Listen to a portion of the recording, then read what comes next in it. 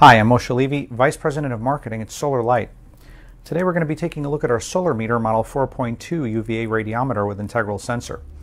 The 4.2 is a great choice for affordable but extremely accurate instantaneous UV measurements from both UV lamps and from sunlight. It can also be used for window film tests, low-level UV from household lamps, ground-level UV from stadium lighting, and outdoor shady area readings.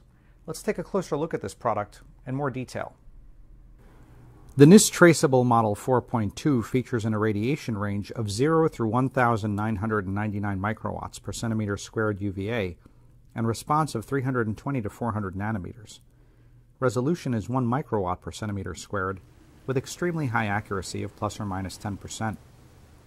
The sensor itself is a silicon photodiode with UV filter, which is completely insensitive to visible light longer than 400 nanometers and infrared radiation because its spectral response only covers the UVA region from 320 to 400 nanometers, as shown on this graph.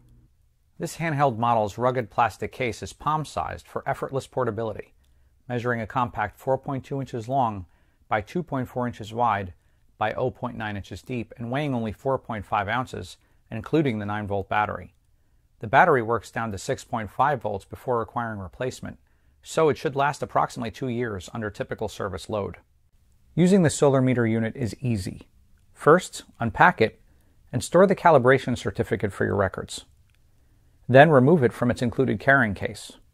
And finally, simply press and hold the push button switch on the front face of the unit, aim the sensor window on the top panel of the meter directly at the UV source, and note the reading on the 3.5 digit LCD display.